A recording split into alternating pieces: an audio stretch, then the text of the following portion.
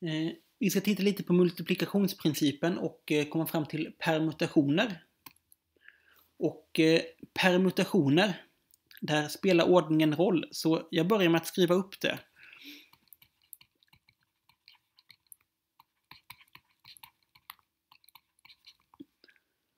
Och jag kommer fram till lite senare vad det där betyder att ordningen spelar roll. Men vi har det nu uppskrivet i alla fall. Så tänk er att eh, vi ska välja en glass. Och eh, jag vill ju ha en kul glass.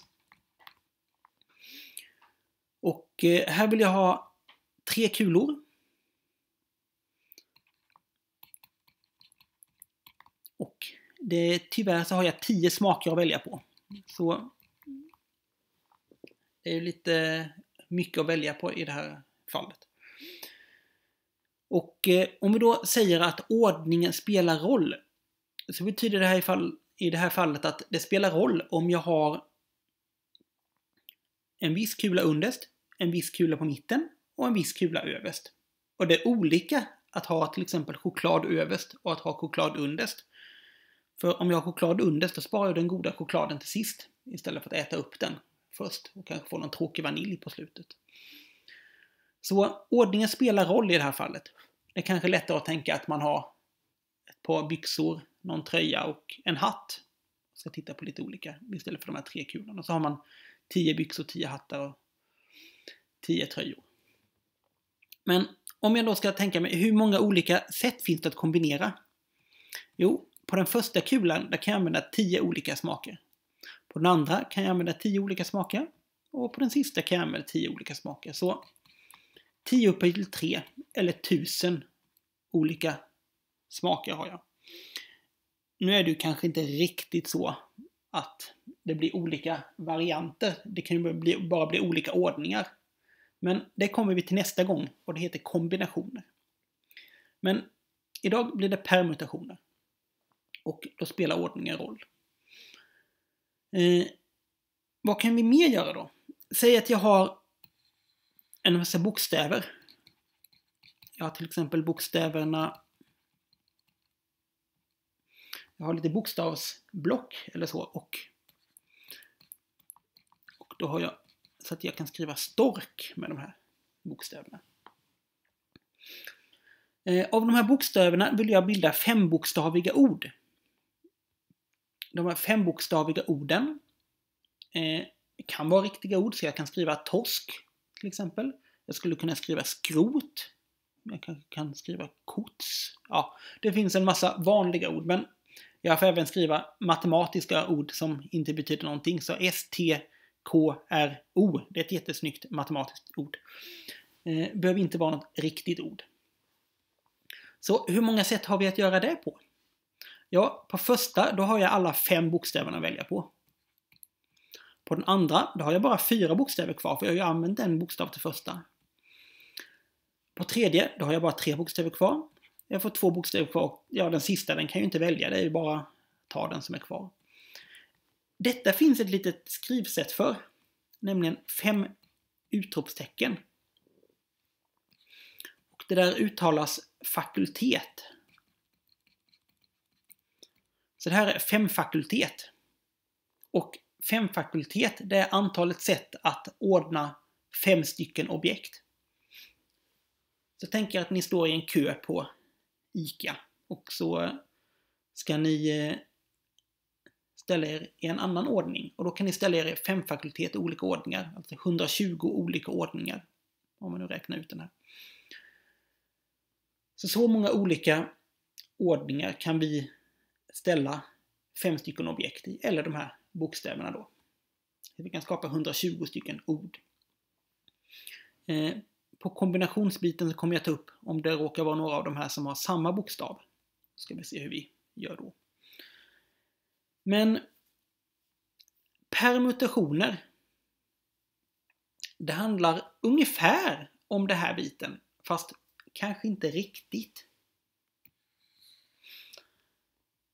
Säg att jag återigen ska skapa fembokstaviga ord. Men att jag har hela alfabetet på mig. Men jag får bara använda dem en gång.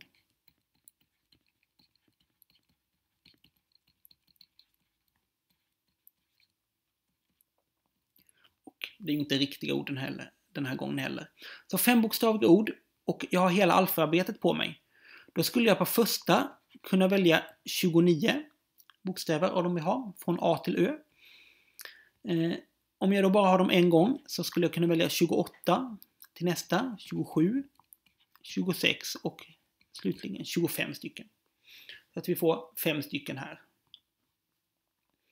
Och helt plötsligt blir det här väldigt, väldigt, väldigt mycket mer. Och det här går ju att skriva in på räknaren rakt av, men efter ett tag så blir det här lite segt faktiskt. Och då finns det en liten genväg på er räknare. Där det står, ni kan skriva 29 och sen gå in på matte och så trycker ni åt vänster och så finns det någonting som heter NPR. Där N det betyder hur många vi har. Det är 29 totalt. R är hur många vi ska välja ut. Det är fem stycken. Och eh, det här P det står för permutation. Permutation. Så 29 NPR 5, då slår miniräknaren in det här. På ett ganska enkelt sätt. Det här går faktiskt att skriva med hjälp av fakultet. Eh, och då skulle man kunna tänka sig att det står 29 gånger 28 och så hela vägen ner till 1. Då är det faktiskt 29 fakultet. Men det står ju inte riktigt så va. För 24 och neråt har man plockat bort. Ja, men om vi tänker oss då att vi delar med 24 fakultet.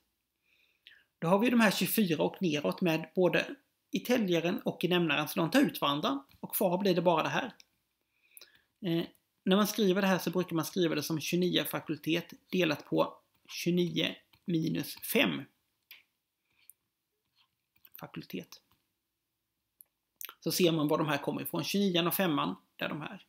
Men det här sättet, det är ofta jättejobbigt att räkna. Jag menar, 29 fakultet. Det är ett gigantiskt tal. Ni har fakultet på samma ställe. Eh, matte, vänster och sen är det fjärde alternativet.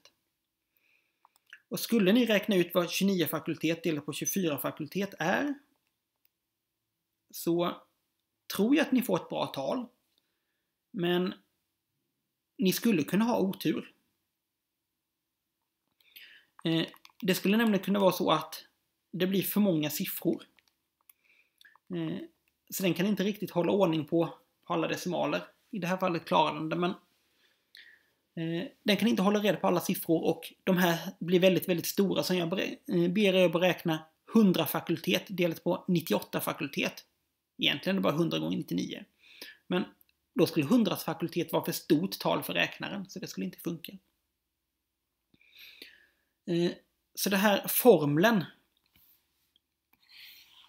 att säga att en NPR, R, att det är en fakultet delat på N minus R fakultet.